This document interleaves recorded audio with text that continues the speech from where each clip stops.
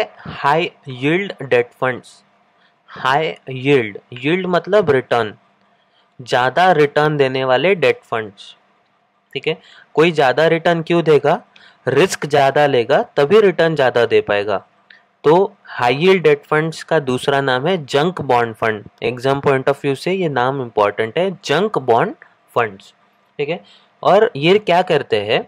ये ज़्यादा इंटरेस्ट पाने के लिए ज़्यादा रिटर्न्स लाने के लिए ऐसी कंपनियों में निवेश करते हैं, ऐसे कंपनियों के डिबेंचर्स में निवेश करते हैं कॉरपोरेट बॉन्ड्स में निवेश करते हैं, जो जिनका क्रेडिट क्वालिटी कम हो, जिनका पैसे वापस करने का चांसेस मतलब जिनमें ज़्यादा रिस्क हो, ठीक है? इस तरह के बॉन्ड्स में डिबेंचर्स में पैसा डाला जाता है।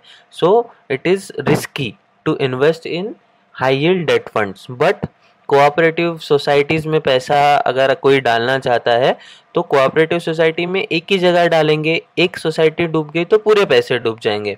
उसके बजाय म्यूचुअल फंड्स पढ़ाई करके पैसा डालते हैं फंड मैनेजर पढ़ाई करके पैसा डालते हैं, पचास कंपनीज़ में अलग अलग रिस्की कंपनीज़ में पैसा डाला, उसमें एक आध दूसरी कंपनी पैसा डिफ़ॉल्ट भी कर देती है बट बाकी के वजह से, बाकी जगह से ज़्यादा ब्याज मिलता है तो वो सारी चीज़ें एडजस्ट हो जाती है, आपको कंपेंसेट हो जाता है।